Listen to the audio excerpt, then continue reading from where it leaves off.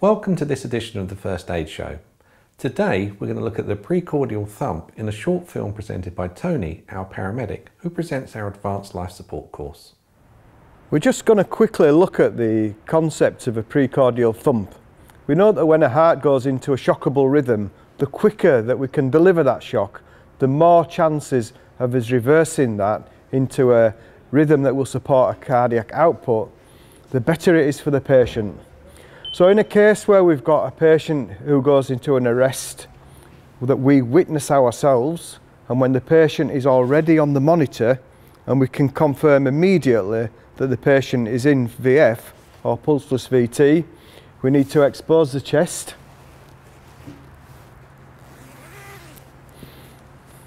Identify the centre of the chest and form a fist. And from approximately six inches above the chest, deliver a short, sharp thump once. This will generate approximately 20 joules of electricity and potentially maybe just what's needed to restart the heart. If this fails, then we need to switch back to our traditional defibrillation, delivering a DC shock. Just to reinforce that this is not a first aid measure.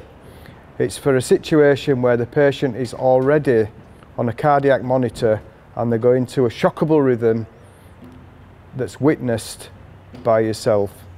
And to add a, a bit of real life experience to the precordial thump situation, there's been a number of times in my career where I've actually delivered a precordial thump and had a positive outcome. On one occasion actually, the chap was sat in an armchair in an upright position and suddenly became unresponsive uh, in the presence of his wife. The patient was monitored.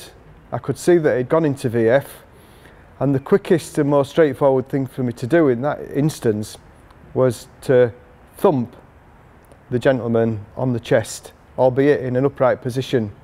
He immediately reverted back to a sinus rhythm and gained consciousness within the space of a few seconds. This, of course, looked quite traumatic to his good lady wife, and I had to apologise um, for the apparent assault on her husband, although she was extremely grateful for the fact that he was now alive.